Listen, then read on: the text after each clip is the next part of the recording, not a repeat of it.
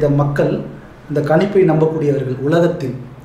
அப்போ எந்த அளவுக்கு வந்து ஒரு மனிதனை வந்து ஆளுமைப்படுத்துது எந்த இடத்து எந்த அளவுக்கு வந்து கிரகங்களும் நட்சத்திரங்களும் எண்களும் என்னெல்லாம் நம்ம கணிப்பு முறைகளுக்கு நமக்கு வந்து வைப்ரேஷன் அதிர்வலிகளை ஏற்படுத்துதோ அத்தனை விஷயமும் தான் இதெல்லாம் யாருக்கு முக்கிய முக்கியமாக ஏற்படுத்துதுன்னா மனிதனான நமக்கு தான்.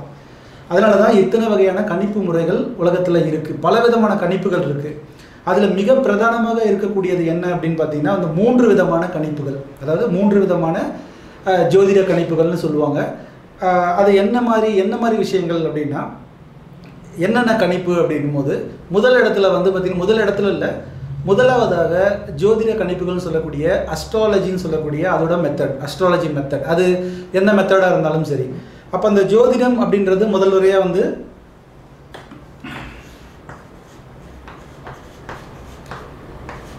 ஜோதிட சாஸ்திரம்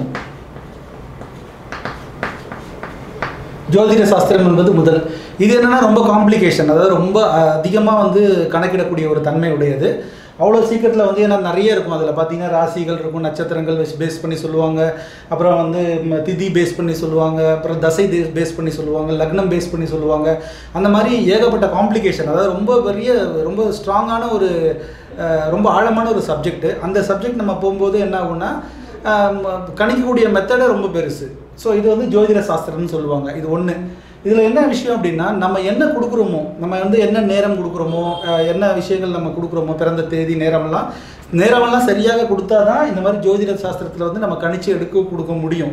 இப்போ நம்ம கொடுக்கக்கூடிய நேரமே ஏதாவது தப்பாக இருந்துச்சு நமக்கு சரியாக தெரியல ஒரு அஞ்சு நிமிஷம் பத்து நிமிஷம் பதினஞ்சு நிமிஷம் மாறுதல்லாம் இருக்குது அந்த மாதிரி இருக்கும்போது என்ன ஆகும்னா இந்த ஜோதிட சாஸ்திரத்தில் வந்து அவங்க நீங்கள் என்ன கொடுக்குறீங்களோ அதை அப்படியே வந்து கணிச்சு கொடுப்பாங்களே தவிர நீங்கள் கொடுக்கக்கூடிய தகவல் உண்மையாக பொய்யான்னு உங்களுக்கே தெரியாது. அது சரியான நேரமான்னு தெரியாது. அதனால் ஏகப்பட்ட குழப்பங்கள் இருக்குது ஜோதிட சாஸ்திரம் பண்ணுறவங்க எல்லாமே நல்லா பண்ணுறாங்க நம்ம கொடுக்கக்கூடிய தகவலில் மாறுபாடு இருக்கனால அவங்களால அதை கண்டுபிடிச்செல்லாம் கரெக்டாலாம் சரியாக சொல்ல முடியாது. ஏன்னா ரொம்ப காம்ப்ளிகேட்டட் இருக்குது இதுக்கு. ஸோ அதனால் இது ஜோதிட சாஸ்திரம் என்பது முதல் வகை. முதல் வகை. இப்போ இரண்டாவது வகைன்னு எடுத்துக்கிட்டிங்களா? இந்த இரண்டாவது வகை என்ன அப்படின்னா இது வந்து பார்த்தீங்கன்னா கைரேகை சாஸ்திரின்னு சொல்லி கைரேகை சாஸ்திரம். இது வந்து இரண்டாவது வகையான முக்கிய மிக முக்கியமான சாஸ்திரம்.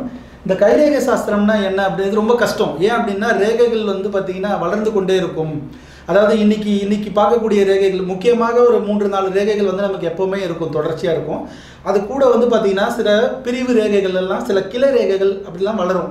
இதெல்லாம் நமக்கு இப்படி புறக்கண்கள் இப்படி பார்க்கும்போது நமக்கு தெரியாது. ஸோ அப்போ ரொம்ப வந்து காம்ப்ளிகேட்டட் அப்போது பத்து நாளைக்கு ஒரு தடவை பதினஞ்சு நாளைக்கு ஒரு இப்போ ஆறு மாதத்துக்கு இப்போ இப்போ ஒரு கைரேகை போகிறோம் அப்படின்னா அவங்க பார்த்துட்டு இப்போ சில விஷயம் சொல்கிறாங்கன்னா ஆறு மாதத்துக்கு அப்புறம் மறுபடியும் அதே நபர்கிட்ட போய் இன்னும் ஏதாவது மாற்றங்கள் இருக்கான்னு தெரியணும்னா ஆறு மாதம் மூணு மாதம் எத்தனை நாட்கள் ஒரு தடவை ரேகைகள் கிளைகளாக பிரிஞ்சு நம்மளுடைய பலன் சொல்லக்கூடிய விஷயங்கள். அப்போ என்னென்னா இதுவும் ரொம்ப வந்து ஒரு கடினமான ஒரு சாஸ்திரம். அது அதை வந்து இப்போ வந்து சொல்கிறதுக்கான ஆட்கள்லாம் ரொம்ப ரொம்ப குறைவாக தான் இருக்காங்க.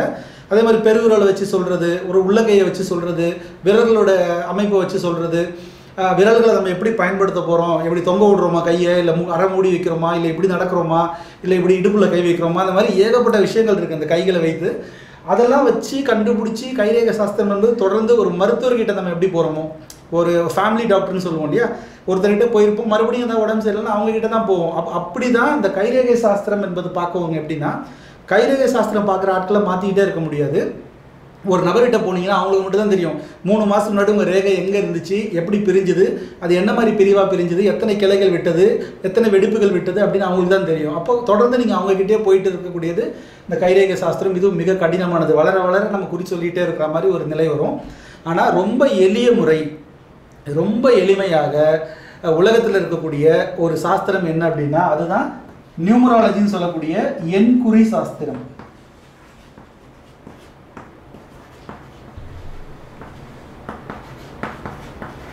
எண்குறி சாஸ்திரம் சொல்லக்கூடிய இந்த நியூமராலஜி என்பது என்ன அப்படின்னா இந்த மூணு முக்கிய சாஸ்திரம் ஜோதிட சாஸ்திரம் கைரேகை சாஸ்திரம் எண்கணித சாஸ்திரம். இதில் இந்த மூணு முக்கியமான சாஸ்திரத்தில் உலகத்தில் நிறைய பேர் வந்து பார்க்கக்கூடிய விஷயங்கள் நிறைய நாடுகளில் வந்து பிரபலமாக இருக்கக்கூடிய விஷயங்கள்ல இந்த மூணு சாஸ்திரத்தில் பார்த்தீங்கன்னா இந்த எண்குறி சாஸ்திரம் சொல்லக்கூடிய இந்த எண்கணித முறை இந்த நியூமராலஜி மெத்தட் தான்.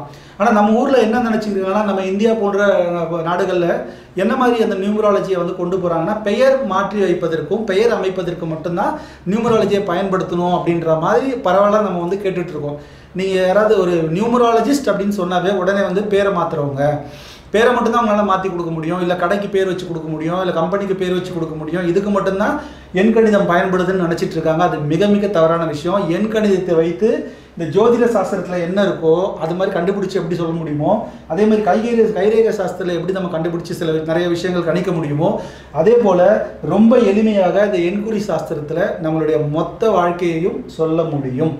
ஸோ அப்போ இந்த எண்குறி சாஸ்திரம் என்பது என்ன? ஏன் அப்படின்னா நம்ம இப்போ இந்த வீடியோ எதுக்கு நான் கொடுக்குறேன் அப்படின்னா நம்மளை பற்றி நமக்கே தெரிந்து கொள்வதற்கு ஒவ்வொரு நபர் இருக்கணும். ஒரு ஒரு வீட்டுக்கு ஒரு ஒரு நபர் இருந்தோன்னா அந்த வீட்டில் அந்த குடும்பத்தில் இருக்கிறவங்கள எளிதாக வந்து கணிக்கிறதுக்கான வாய்ப்புகள் ஈஸியாக இருக்குது எல்லா விதத்துலையும் கணிக்க முடியும். சரிங்களா? இதெல்லாம் நம்ம வந்து இது புதுசாக வந்து யாரும் கண்டுபிடிச்சதில்ல. இதெல்லாம் வந்து நம்மளுடைய முன்னோர்கள் சொல்லக்கூடிய சித்த பெருமக்கள் நிறைய யோகிகள் ஞானிகள் எல்லாமே இதுக்காகவே வந்து நிறைய விஷயங்கள் வந்து ஃபாலோ பண்ணி நமக்கு கொடுத்துருக்கக்கூடிய மிகப்பெரிய ஒரு பொக்கிஷம் அப்படின்னா அந்த எண்குறி சாஸ்திரம். அதுக்கப்புறம் இந்த எண்குறி சாஸ்திரம் என்னாச்சு?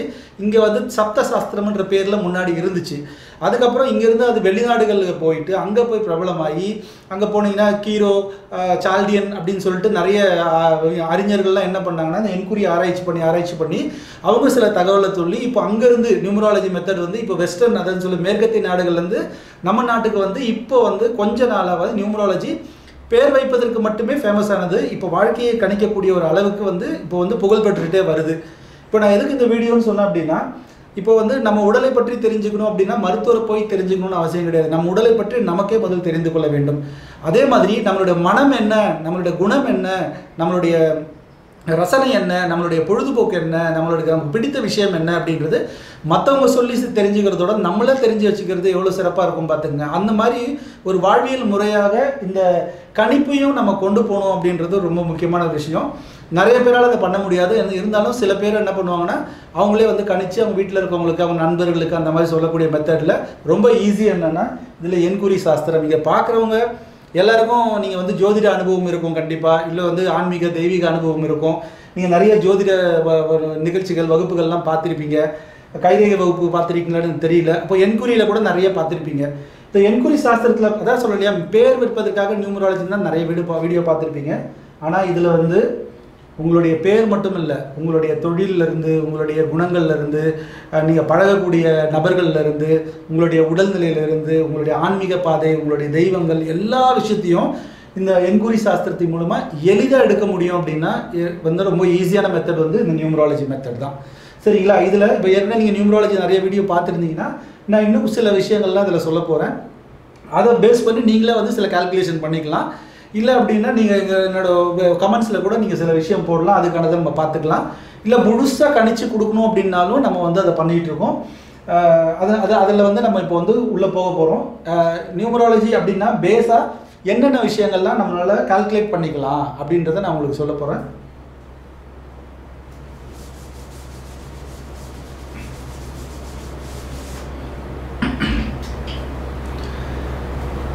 அதாவது முதல் வந்து என்னன்னா நம்மளுடைய இதில் வந்து என்ன மாதிரி எண்கள் நம்ம கால்குலேட் பண்ணுவோம்னா பிறப்பு எண்.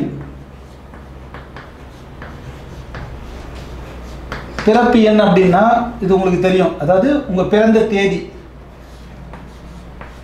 தேதி தான் பிறப்பு எண்ணு சொல்லுவாங்க. அதுக்கு அடுத்து பார்த்தீங்கன்னா விதி எண்ணு சொல்லுவாங்க.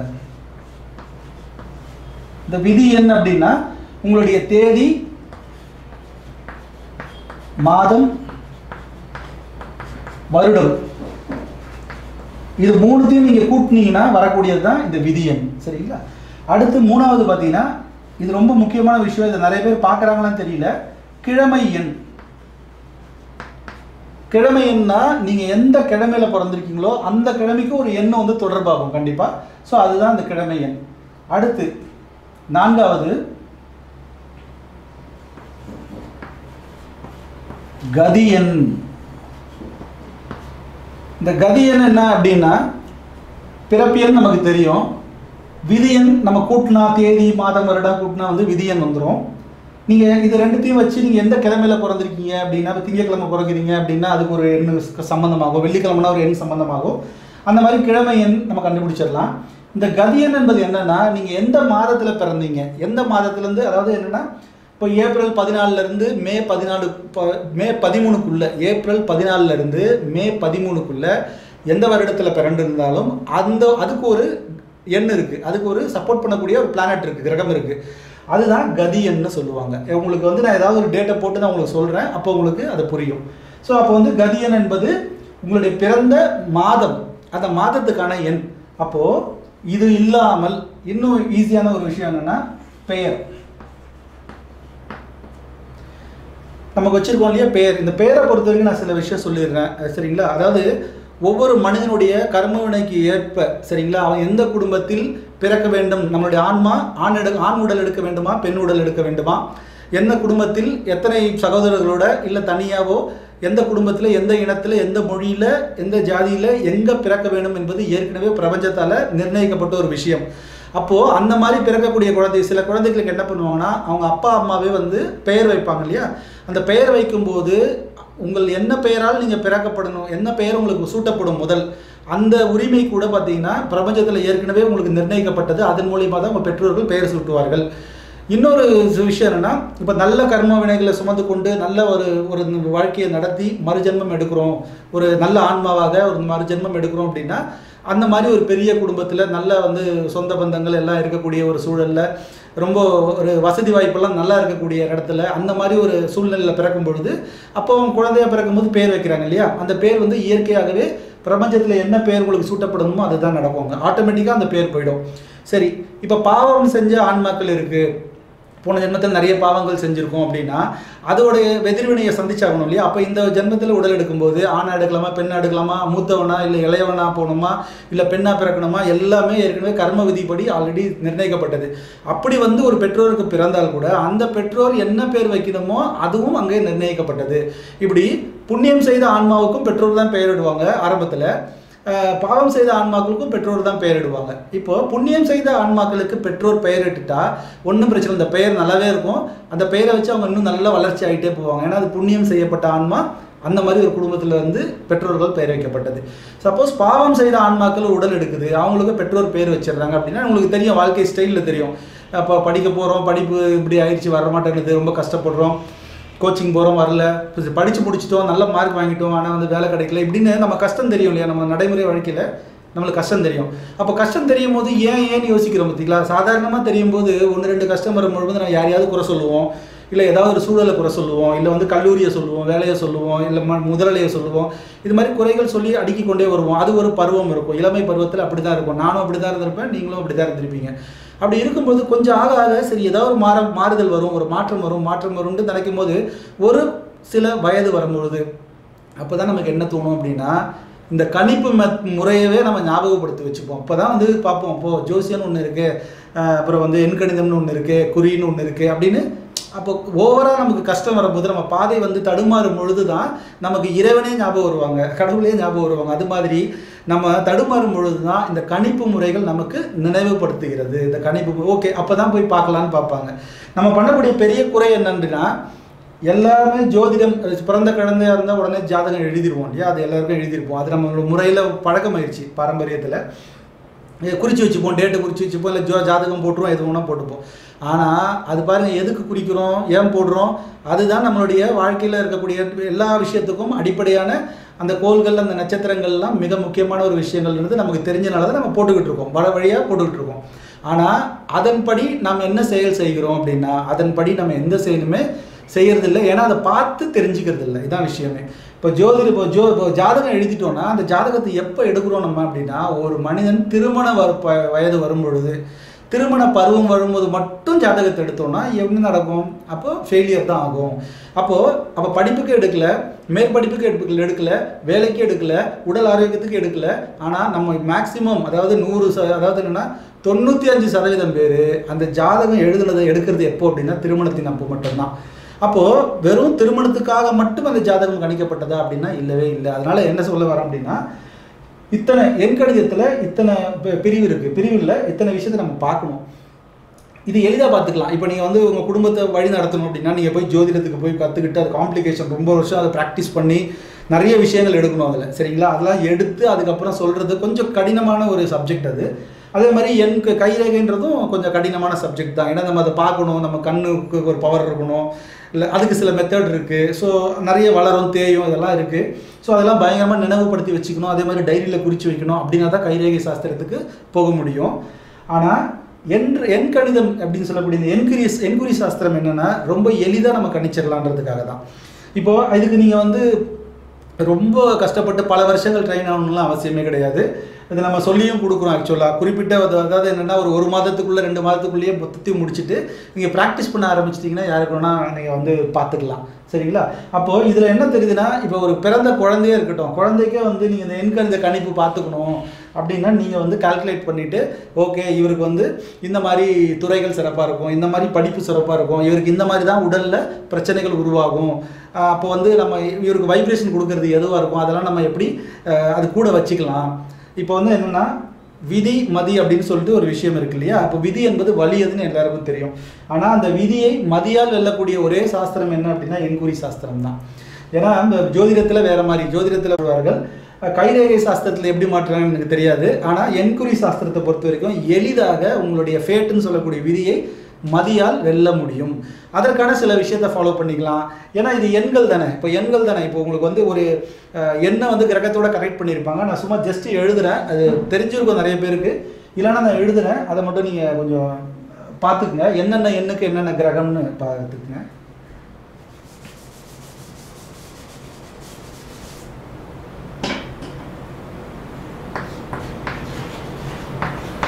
ஒன்று அப்படின்னா அது வந்து சூரியன். ரெண்டு அப்படின்னா சந்திரன். மூன்று அப்படின்னா குரு இல்லைன்னா வியாழன். நாலு அப்படின்னா ராகு.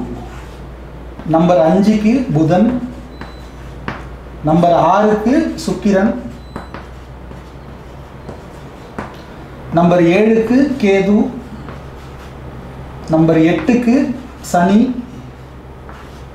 நம்பர் ஒன்பதுக்கு செவ்வாய். இது தெரியாதவங்க இது எல்லாருக்கும் தெரியும் மேக்ஸிமம் இது தெரியாதவங்க நோட் பண்ணிக்கலாம். நம்பர் ஒன்று அப்படின்னாவே சூரியன் அது அதுக்கான பிளானட் வந்து சூரியன். ரெண்டுனா சந்திரன் மூணுனா குரு அப்படின்னு சொல்லக்கூடிய வியாழன் நாலுனா ராகு அஞ்சுனா புதன் ஆறுனா சுக்கிரன் ஏழுனா கேது எட்டுனா சனி ஒன்பதுனா செவ்வாய். இதை மட்டும் நல்லா ஞாபகம் வச்சுக்கிட்டீங்கன்னா உங்களுக்கு ஈஸியாக வந்து இந்த சூரியனோட தன்மைகள் என்ன சந்திரனோட தன்மைகள் என்ன அப்படின்னா நீங்கள் சில புத்தகங்களில் கூட நீங்கள் தெரிஞ்சுக்கலாம் சில விஷயங்கள். பேசிக்காக அதுக்கப்புறம் நீங்கள் பயிற்சியில் வரும்போது ஈஸியாக தெரிஞ்சுக்கலாம். ஸோ இந்த மாதிரி இந்த ஒன்பது நம்பருக்கும் ஒன்பது கிரகங்கள் வருது. சரிங்களா?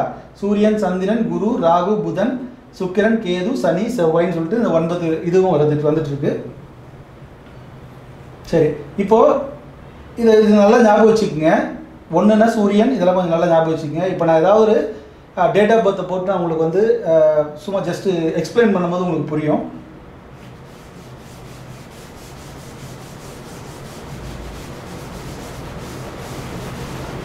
எல்லாத்துக்கும் கிழமைக்கு பிறப்புக்கு எல்லாத்துக்குமே ஏதாவது ஒரு பிளானட் கனெக்ட் ஆகும். இப்போ எல்லாமே வந்து பார்த்தீங்கன்னா இந்த எண் கணிதம் என்பது என்னென்னா பிளானட்ஸ் பேஸில் தான் வருவாங்க. ஏன்னா பேஸ் வந்து அஸ்ட்ராலஜி தான். அதுலேருந்து பிரிவு அப்படியே வரும்போது வரும்போது என் கணிதம் அப்புறம் டேரட் அந்த மாதிரி நிறைய விஷயங்கள் இருக்குது ஆனால் இது ரொம்ப எளிமையாக வந்து கணிச்சிக்கலாம். இப்போ ஃபார் எக்ஸாம்பிள் வந்து நம்ம ஒரு டேட் ஆஃப் பர்த் எடுக்கிறோம். இப்போ ஒரு டேட் ஆஃப் பர்த் எடுக்கிறோம் அப்படின்னா அதில் எது எதெல்லாம் எது பிறப்பியன் எது விதியன் எது கதியன் எது வந்து கிழமையன் அப்படின்றதெல்லாம் நம்ம வந்து பார்க்க போகிறோம் ஸோ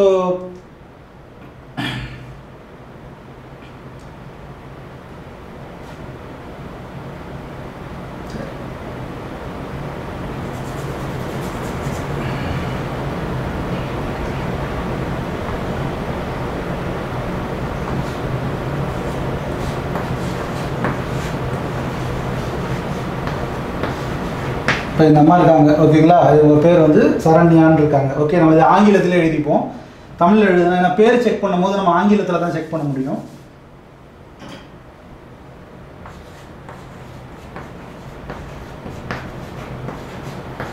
ஏன்னா எல்லா நம்பரும் வரணுன்றதுக்காக இந்த பேரை செலக்ட் பண்ணியிருக்கேன்.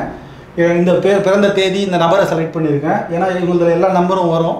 இப்போ என்னோடதெல்லாம் பார்த்தீங்கன்னா ஒரே நம்பரே அடிக்கடி வரும்ன்றதுனால உங்களுக்கு புரியாது. அதனால் சொல்கிறேன் இப்போ இவங்க இந்த அம்மா வந்து வந்து இவங்க பேர் சரண்யா அப்படின்ற பேர் கொண்டவங்க. இவங்களோட பிறந்த தேதி மாதம் வருடம் பிறப்பியன் கண்டுபிடிக்க போகிறோம் பீனா பிறப்பியன் கீனா கிழமையன் வீணா விதியன் கானா கதியன் பெயர். பெயனா பெயர். ஓகேங்களா இதை நம்பர் எல்லாம் முதல்ல கண்டுபிடிச்சிட்டோம்னா எந்தெந்த பிளானெட்டெல்லாம் உங்களுக்கு சப்போர்ட் பண்ணுதுன்னு பார்த்துட்டு அதுக்கேற்ற மாதிரி இவங்களோட விஷயங்கள்லாம் நம்ம வந்து எடுக்கலாம். உதாரணத்துக்கு தான் இதை நான் கொடுக்குறேன். நான் ரொம்ப ப்ரீஃபாக சொல்ல முடியாது ஆக்சுவலாக நான் என்னென்ன விஷயங்கள்லாம் தெளிவாக சொல்கிறேனோ அதை மட்டும் கொஞ்சம் நோட் பண்ணிக்கோங்க. இவங்களோட தேதி வந்து பார்த்தீங்கன்னா இருபத்தி ஒன்று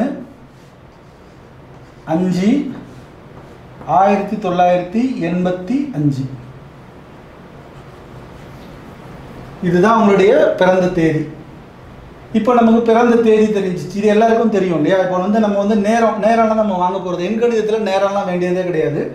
ஸோ அதனால சில பேர் என்ன பண்ணுவாங்க எனக்கு கிழமையே தெரியாதுங்க. வெறும் இதை மட்டும் தான் தேதி மட்டும் தான் எனக்கு தெரியும்னு சொல்லுவாங்க.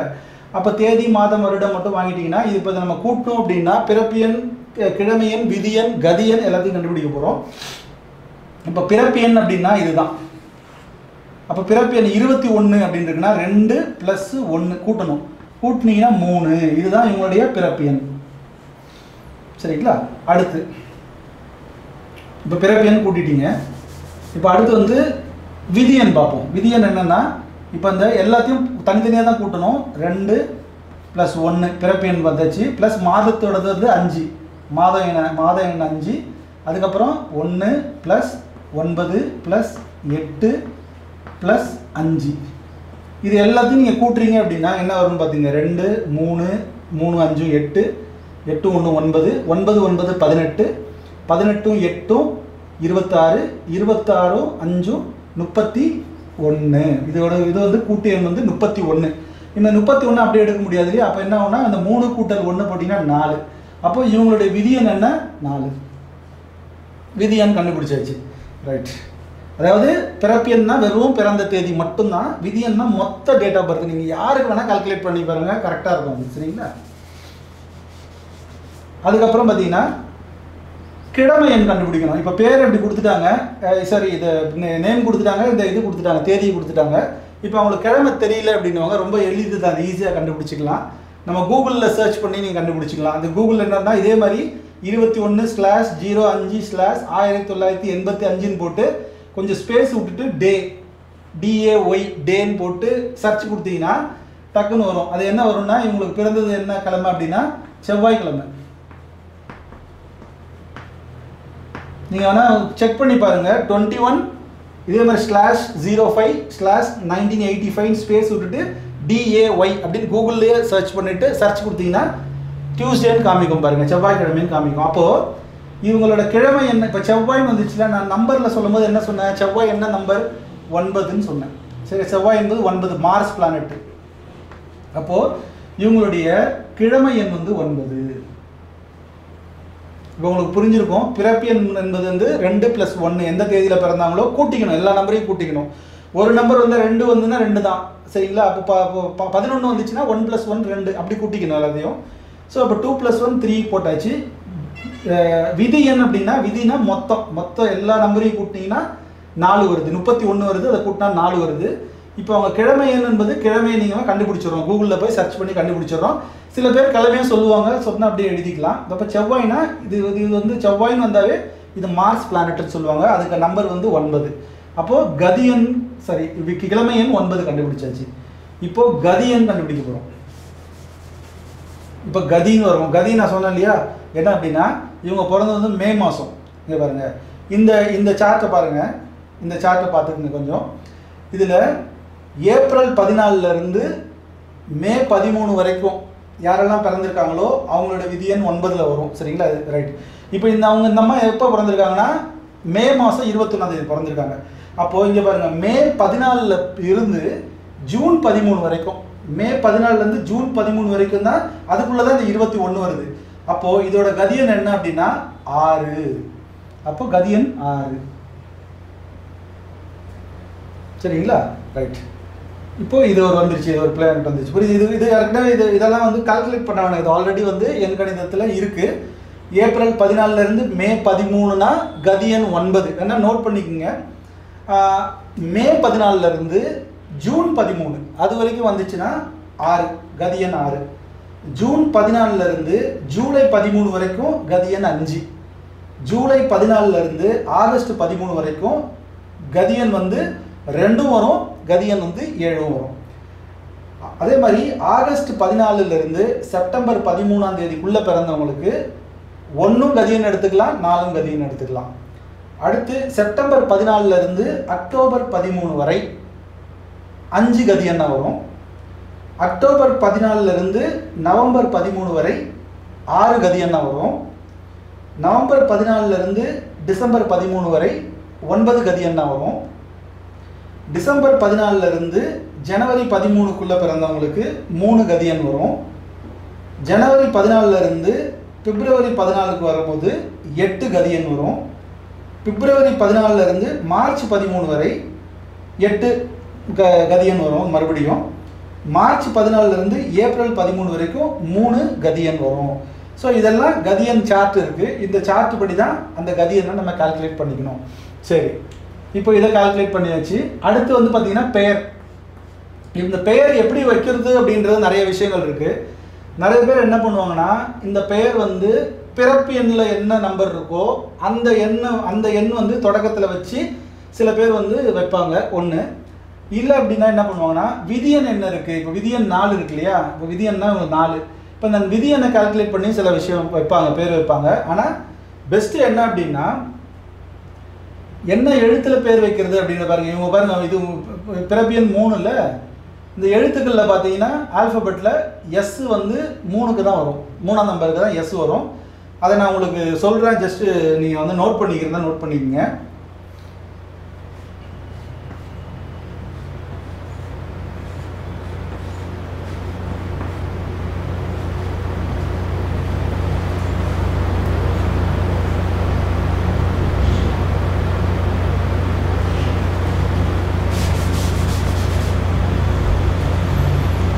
ஒன்று வந்து வந்து A I J Q Y இந்த நம்பர் எல்லாம் நம்பர் ஒன்று சரிங்களா? A I J Q Y இதெல்லாம் இந்த நம்பர் எல்லாமே ஒன்று சூரியன் ஆதிக்கத்துக்கு உட்பட்ட எண்களாக எண்கணித சாஸ்திரத்தில் சொல்கிறாங்க ரெண்டு அப்படின்னாவே பி கே ஆர் இந்த மூணு எழுத்துக்களும் ரெண்டு.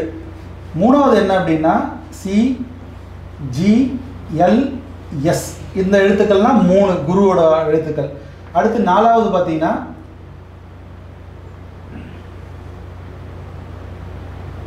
நான் உங்களுக்கு தெரியுதா? இல்லைன்னா நான் கொஞ்சம் மேலே எழுதுறேன்.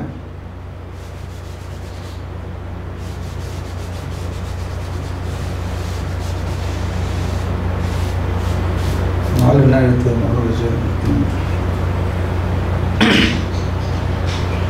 டி எம்டி இந்த மூணு எழுத்து டிஎம்டி இதெல்லாம் வந்து நாலாம் நம்பர் நாலு ராகுக்கு உரிய என் எழுத்துக்கள். அடுத்து அஞ்சாவது வந்து இஹெச் என் எக்ஸ் இதெல்லாம் நம்பர் அஞ்சுக்கானது. அடுத்து ஆறு. ஆறுனா சுக்கரன் இல்லையா? ஆறாவதுக்கு வந்து பார்த்தீங்கன்னா யூ டபிள்யூ இது வந்து. அடுத்து வந்து ஏழா எண்ணுக்கு ஏழு எண்ணுக்கு பார்த்தீங்கன்னா ஓ இசட் சரிங்களா? அடுத்து எட்டு. எட்டுக்கு வந்து எஃப்பி இதுதான் இங்கிலீஷில் இருக்கக்கூடிய ஆல்ஃபபெட்ஸ்னு சொல்லக்கூடிய அந்த ஆங்கில எழுத்துக்களுக்கு வந்து உகந்த கிரகங்கள். ஒன்றுனா A one J Q K இதில் எந்த பேர் ஆரம்பித்தாலும் ஒன்று தான் சரிங்களா? இதில் ஏல ஆரம்பித்தாலும் ஒன்று தான் ஐயில் ஆரம்பித்த பேராக இருந்தாலும் ஒன்று தான் ஜேல ஆரம்பித்தாலும் ஒன்று தான் கியூவில் ஆரம்பித்தாலும் ஒன்று தான் ஒயில் ஆரம்பித்தாலும் ஒன்று தான் அப்போது ரெண்டுனா பி கேஆர் பியில் யாருக்கெல்லாம் ஆரம்பிக்குதோ ரெண்டு அப்படி. ஸோ இதை வந்து நீங்கள் நோட் பண்ணிக்கங்க. இப்போ இந்த அம்மாவுக்கு நம்ம பார்க்குறோம் இல்லையா? இப்போ இவங்களோட பேர் வந்து சரண்யான்னு இருக்குது ஆனால் இவங்களுக்கு பாருங்கள் எந்த லெட்டரில் ஆரம்பிச்சிருக்காங்கன்னா அவங்க பிறப்பு என்ன சொல்லக்கூடிய இந்த மூணு லெட்டரில் ஆரம்பிச்சிருக்காங்க. பொதுவாக என்ன பண்ணுவாங்கன்னா எல்லாரும் என்ன பண்ணுவாங்கன்னா இந்த பேர் வைக்கும்போது கூட்டெழுத்து பார்த்தீங்கன்னா கூட்டெழுத்து அது என்ன தொகை வேணா இருக்கட்டும். ஆனால் என்ன என்ன பார்ப்பாங்கன்னா மேக்ஸிமம் வந்து அஞ்சில் ட்ரை பண்ணுவாங்க. இல்லைன்னா ஒன்றில் ட்ரை பண்ணுவாங்க. இதுதான் அதிகமாக பார்க்க முடியும். நீங்கள் யாருக்காவது நியூமராலஜி பேர் வைக்க போகிறீங்க அப்படின்னா அவங்க பேர் மொத்தத்தையும் கூட்டி பாருங்களேன். ஒன்று அஞ்சில் வரும் ஒன்றில் வரும். அது உதாரணத்துக்கு இந்த அம்மாவை நம்ம கூட்டுவோம். இதை நோட் பண்ணிக்கிறீங்க. ஒன்று ரெண்டு மூணு நாலு அஞ்சு ஆறு ஏழு எட்டு நோட் பண்ணிக்கிறீங்களா? நோட் பண்ணிட்டீங்கன்னா நான் அழிச்சிருவேன் அதை.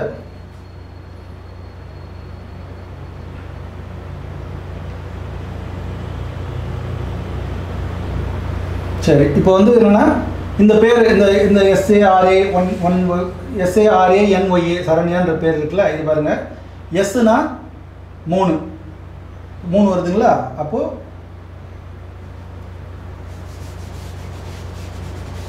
ஏன்னா ஒன்று அஞ்சு அப்படின்னாவே புதன்னு சொல்லுவாங்க.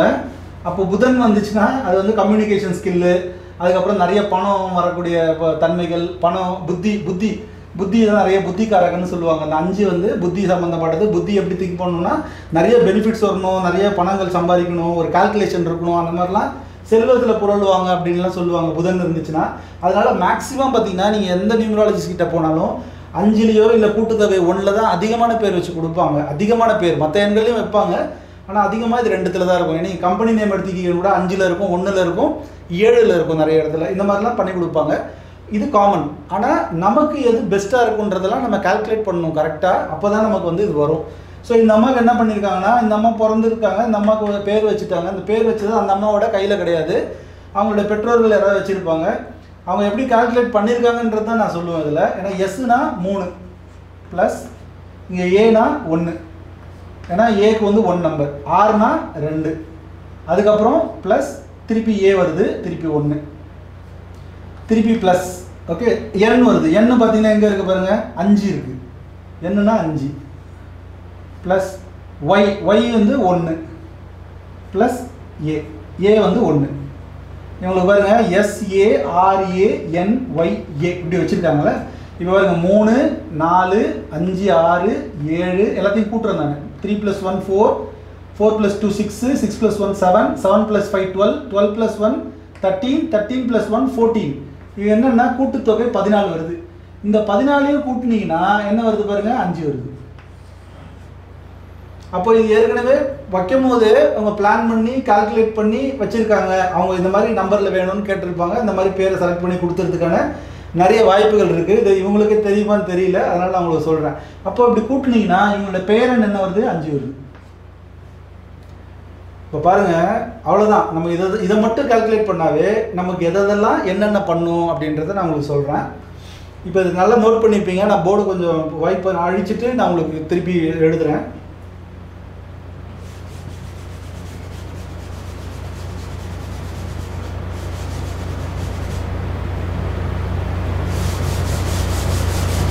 சரி இப்போ நம்ம இவங்களுக்கு பிறப்பியன் கண்டுபிடிச்சாச்சு கிழமையன் கண்டுபிடிச்சாச்சு விதியன் கண்டுபிடிச்சாச்சு கதியன் கண்டுபிடிச்சாச்சு பெயரன் கண்டுபிடிச்சாச்சு. பெயரன்னா ரெண்டு இருக்கு. பெயர் கூட்டி வர்றது ஒன்று பெயர் ஆரம்பிக்கிறது ஆரம்பத்தில் எழுத்து வந்து மூணு மூணு வந்திருக்கு. சரிங்களா? அதெல்லாம் கண்டுபிடிச்சாச்சு. இது பிறப்பியன்னா என்ன பண்ணும்?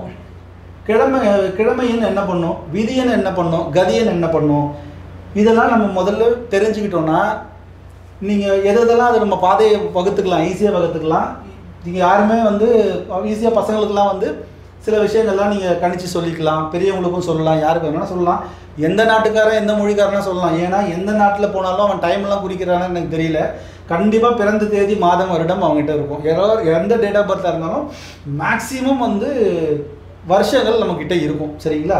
ஏதோ ஒன்று ரெண்டு பேருக்கு வேணால் தேதியை வந்து படிப்புக்காக மாற்றி கொடுத்துருக்கலாம் வயது கூட்டுறதுக்காக கொடுத்துருக்கலாம். ஒரு சில பேருக்கு என்ன பண்ணுவாங்கன்னா சுத்தமாக தெரியாது. அவங்களா ஒரு தேதியை போட்டு அவங்கள ஒரு கால்குலேஷன் போட்டு அவங்களுக்கு நம்ம வேறு மெத்தடில் பண்ணுறோம் ஏன்னா உங்களுக்கு தெரியும் நான் ஆறா பண்ணிகிட்டு இருக்கேன் ஆறா மெத்தடில் பண்ணிட்டு இருக்கேன்னு உங்களுக்கு தெரியும். ஸோ அதனால் நம்ம கூட அடிஷ்னலாக ஃபோட்டோகிராஃப்லாம் எடுத்துக்கிட்டோம்னா இன்னும் பெஸ்ட்டாக சொல்ல முடியும். இப்போது இதெல்லாம் உங்களுக்கு இருக்குது ஓகே இந்த பிறப்பு எண் அப்படின்னா என்ன? அப்படின்னு நான் சொல்லிடுறேன்.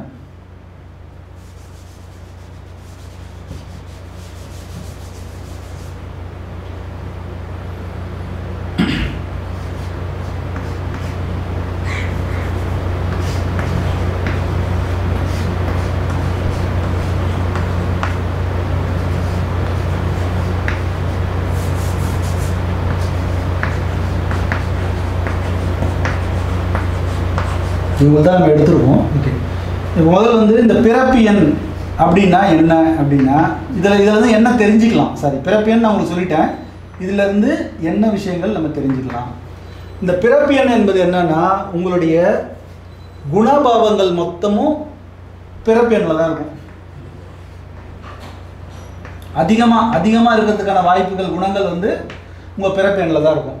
இதில் இப்போ குணங்கள் ரொம்ப முக்கியம் இல்லையா? நம்ம என்ன நினச்சிக்கிறோன்னா வெறும் தொழில் மட்டும் கண்டுபிடிச்சிட்டு நம்ம வந்து தொழிலை தொடங்கிடலாம். இல்லை வந்து நம்மளுடைய ஆன்மீகத்தை மொத்தம் அதாவது நமக்கு என்ன தெய்வங்கள் சப்போர்ட் பண்ணும் என்ன மாதிரி கிழமைகள் சப்போர்ட் பண்ணும் இதை மட்டும் தெரிஞ்சுக்கிட்டு நம்ம அப்படியே வந்து டெவலப் ஆகி போய்க்கலாம். நம்ம உடல்நிலையை மட்டும் தெரிஞ்சுக்கிட்டு நம்ம வந்து பேலன்ஸ் பண்ணி போய்க்கலாம் அப்படின்ற மாதிரி ஒவ்வொரு ட்ராக்காக தான் யோசிக்கிறாங்களே தவிர இது அத்தனையும் சரியாக சக்ஸஸ்ஃபுல்லாக போகணுன்னா ஒரே ஒரு அசைக்க முடியாத ஒரு விஷயம் என்னென்னா இந்த குணங்கள் தான். இந்த குணங்கள் இயல்பான குணங்கள் நமக்கு அமையும் சரிங்களா? அப்போது இந்த குணங்களோட விஷயங்கள் தெரியாமல் இப்போ வந்து நான் உங்களை பற்றியே உங்களுக்கு நான் சொல்லணும். உங்களை பற்றி உங்ககிட்ட நான் கேட்குறேன் உதாரணத்துக்கு கேட்குறேன் இதை நிறைய பேர் பார்த்துட்ருப்பீங்க உங்ககிட்ட இருக்க நல்ல குணங்கள் ரெண்டு சொல்லுங்கன்னு கேட்டேன் அப்படின்னா இது வரைக்கும் நான் நிறைய பேர் கேட்டிருக்கேன். உங்களுக்கு உங்களுக்கு உங்களை வந்து நல்ல குணங்கள் ரெண்டே ரெண்டு சொல்லுங்கள் அப்படின்னு கேட்டால் யாருமே வாயடிச்சு போய் நிற்கிறாங்க என்ன சொல்கிறதுனே அவங்களுக்கு தெரியல. ஏன்னா அவங்களுடைய குணங்களே அவங்களுக்கு தெரியல. இதான் உண்மை. ரெண்டு சொல்லுங்களேன் ரெண்டா? ரெண்டான்றாங்க. அதுக்கப்புறம் சரி விட்டுருங்க. அது நல்ல குணங்கள் வேணாம். கெட்ட குணங்கள் ரெண்டு சொல்லுங்க சொல்லுங்க அப்படின்னா அதுவும் சொல்ல முடியல அவங்களால. அப்போது உங்களை பற்றியான விஷயங்களே உங்களுக்கு தெரியாத போது எப்படி வந்து உங்களுடைய பாதை வந்து வெற்றி பெறும்? இதான் என்னுடைய இந்த எண்கணித முறையில் இந்த ஆறாம் முறையில் நான் கேட்கக்கூடிய ஒரே கேள்வி என்னென்னா இப்போ நிறைய பேர் என்ன பண்ணுவாங்கன்னா தொழில் மட்டும் எனக்கு தெரிஞ்சால் போதும்னு சொல்லி வருவாங்க. தொழில் மட்டும் தெரிஞ்சுதுன்னா ரைட் ஓகே. நீங்கள் வந்து ஃபுட் இண்டஸ்ட்ரியில் வந்து இந்த மாதிரி வந்து திரவ உணவுகள் லிக்விட் ஃபுட்ஸ் நீங்கள் பண்ணுங்க அப்படின்னு நான் சொல்லுவேன். சொல்லுவேன்னா நான் அப்படி சொல்ல மாட்டேன். ஏன்னா எல்லாத்தையும் மொத்தமும் தெரிஞ்சுக்கிட்டால் மட்டும்தான் நம்மளால் கணிச்சு அவங்களோட கரெக்டாக கொண்டு போக முடியும் அவங்க லைஃப்பை சப்போஸ் ஃபார் எக்ஸாம்பிள் நான் வெறும் தொழில் வந்தோடனே சரி ஓகே இந்த நம்பர்லாம் வச்சு எண்கள்லாம் வச்சு ஓகே தொழிலா அவங்களுக்கு திரவ உணவுகள்னு சொல்லிட்டேன்னு வச்சுக்கோங்க. அவர் பேர் லிக்விட் ஃபுட்ஸ் திரவ உணவுகள்னா தண்ணீர் டீ காஃபி ஜூஸு மில்க்கு அந்த மாதிரி ஆயில்ஸ் இது மாதிரிலாம் பண்ணலாம். அவர் அதை மட்டும் கேட்டுக்கிட்டு போயிட்டீங்கன்னு வச்சுக்கோங்க. உங்கள் குணங்கள் உங்கள் குணங்களே தெரியல பார்த்தீங்களா நல்லது கேட்டால் தெரியலன்றீங்க நல்ல குணம். கெட்ட குணம் உங்களுக்கு என்ன அப்படின்னா அதுவும் தெரியலன்னு ஒரு சில பேர் ஒன்றே ஒன்று தான் சொல்லுவாங்க. அப்போ ஒரே ஒருத்தருக்கு ஒரு குணம் தான் இருக்குமானா? இல்லை இருபது இருபத்தஞ்சுக்கு மேற்பட்ட குணாதிசயங்கள் ஒவ்வொரு மனிதனுக்கும் நம்ம வந்து பார்த்துட்ருக்கோம் மினிமம் டுவெண்ட்டி ஃபைவ் குணாதிசயங்களாவது இருக்கும் சில விஷயங்கள்லாம். ஸோ அந்த குணங்கள் தெரியாமல் நீங்கள் உங்கள் துறையை நான் எழுதி கொடுத்தாலும் இந்த குணங்களால் நீங்கள் அந்த துறையில் டெவலப் ஆக மாட்டீங்க.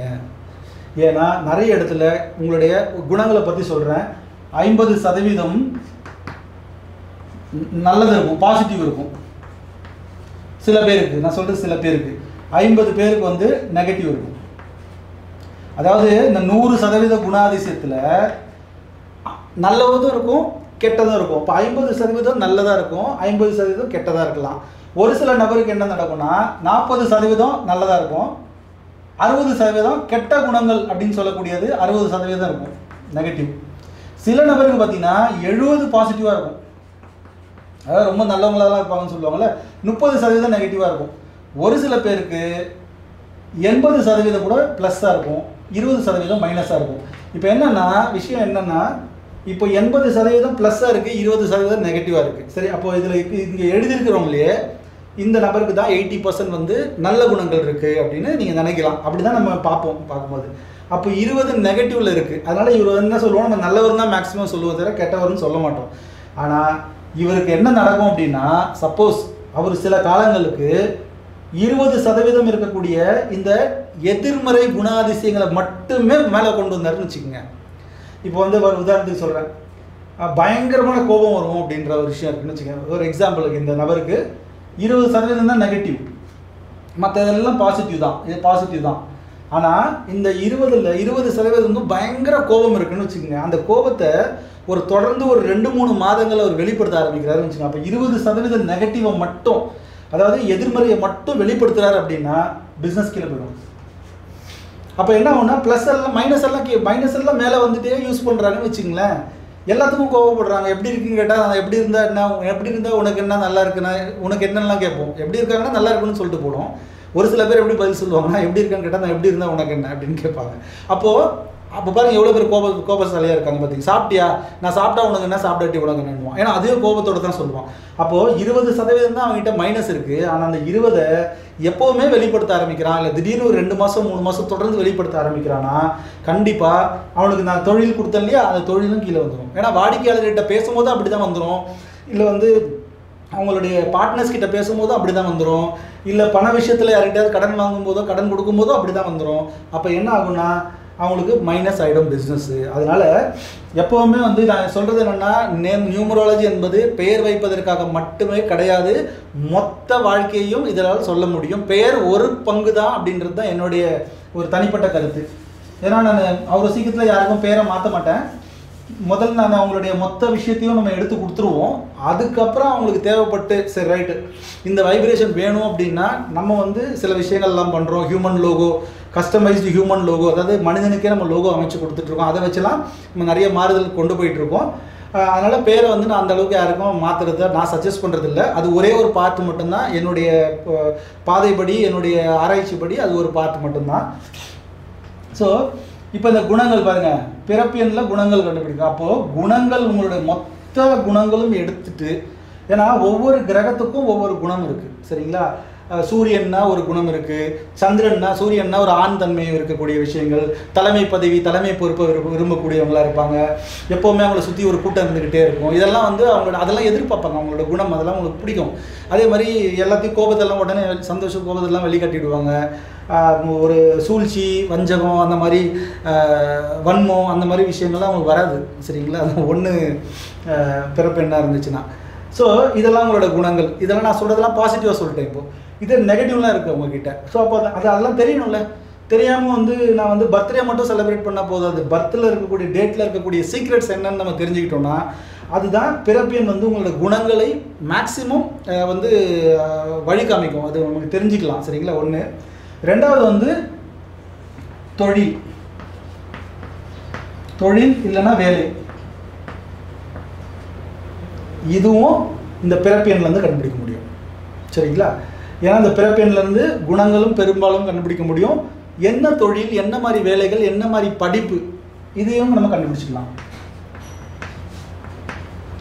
அதாவது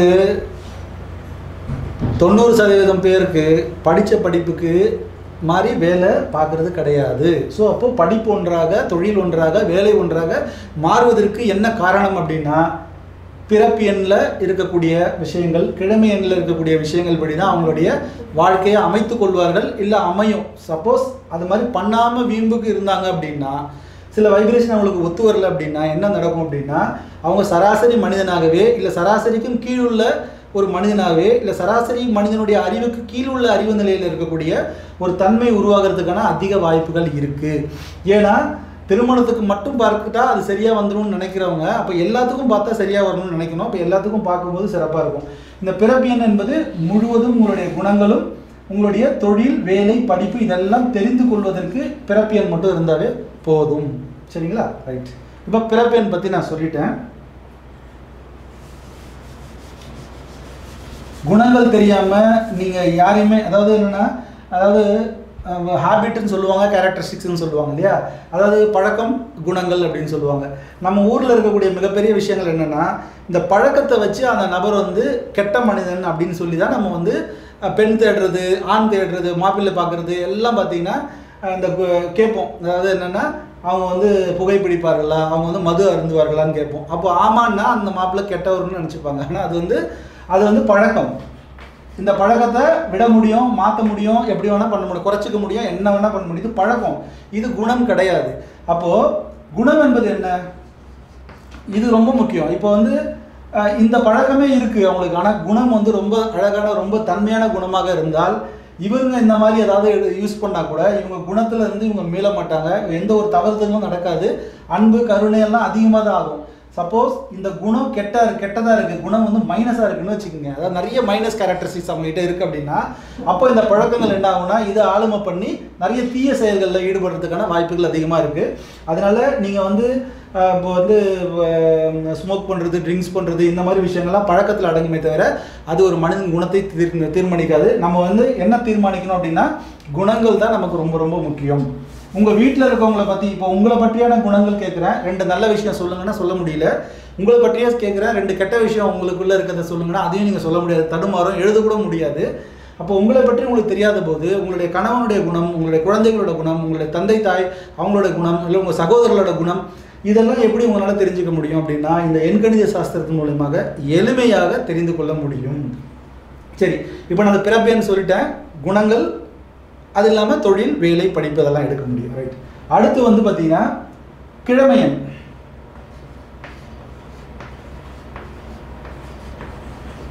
இது வந்து அந்த ஒருத்தங்களுக்கே சொல்லிட்டு இருக்கீங்களா? இல்லை நான் இப்போ வந்து இவங்களுக்கு கால்குலேட் பண்ணி வச்சுட்டோம். ஓகே ஆனால் இதை நான் எக்ஸ்பிளைன் இல்லை. இன்னும் இதெல்லாம் பிறப்பு என்ன என்ன கிழமை என்ன என்ன விதி என்ன என்ன அப்படின்னு ஒரு ரீசன் கொடுத்துட்டு இருக்கேன். அது முடிச்சதுக்கு அப்புறமா நான் இதை பார்ப்போம். சரிங்களா? இப்போ கிழமை எண் அப்படின்னா அதை நம்ம பிறந்த கிழமை இருக்கு இல்லையா? அது இவங்க வந்து இந்த அம்மா வந்து செவ்வாய்க்கிழமை பிறந்திருக்காங்க. அதனால கிழமை இங்கே ஒன்பது நம்ம கொண்டு வந்திருக்கோம் சரி இது இது என்ன பண்ணும்? கிழமைன்னு என்ன பண்ணும்னா இது வேலை இதுலேயும் படிப்பு இதுலேயும் தொழில். அது இல்லாமல் கொஞ்சம் அதாவது ஒரு இருபது இருபத்தைந்து சதவீதம் இருபது சதவீதமாவது குணங்களுக்கு வந்துடும் பிறப்பியன் நான் சொன்னேன். அதில் மேக்ஸிமம் பிறப்பியனில் எண்பது சதவீதம் குணங்களுக்கான ஆளுமை நிறைய இருக்குது ஆனால் இந்த கிழமையனில் வேலை படிப்பு தொழில் தேர்வு செய்யலாம். மிக சிறப்பாக வரும். யாரோ நீங்கள் இது கால்குலேட் பண்ணிட்டு கூட அவங்க என்ன பண்ணுறாங்கன்னு கேட்டு பாருங்கள் நீங்கள் கால்குலேட் பண்ணுறதுல தான் அவங்க ஏதாவது ஒரு தொழிலையோ ஏதாவது ஒரு வேலையோ ஏதாவது ஒன்று பண்ணிகிட்டு இருப்பாங்க. ஸோ இது ரொம்ப மிராக்கள் இருக்குது இன்னும் நான் ஒரு சில மிராக்கள்லாம் உங்களுக்கு சொல்கிறேன் எப்படி வந்து இந்த எண்குழி சாஸ்திரத்தின் வந்து நம்ம வந்து மனிதர்களை எப்படி வந்து ஆளுமைப்படுத்தி ஆட்டி படைக்குதுன்னு நான் உங்களுக்கு சொல்கிறேன் அப்போ பாருங்கள் பிரபஞ்சத்தோட ரகசியம் என்ன? இறைவனுடைய ஆற்றல் என்ன அப்படின்லாம் உங்களுக்கு நல்லா தெரியும்.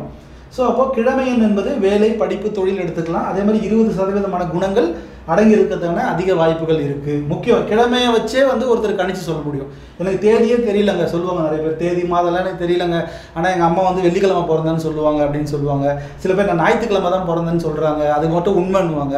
அப்போது அந்த வெறும் கிழமையை வச்சு அப்போ ஞாயிறுனா கிழமைன்னா ஒன்று வெள்ளினா கிழமை என்ன ஆறு அப்படின்னா சுக்கிரன் இது சூரியன் அப்படின்னு வச்சு அதோட தன்மையை வச்சு கூட அது இல்லாமல் அவங்களுக்கு கண்டிப்பாக பேர் இருக்கும் இல்லையா?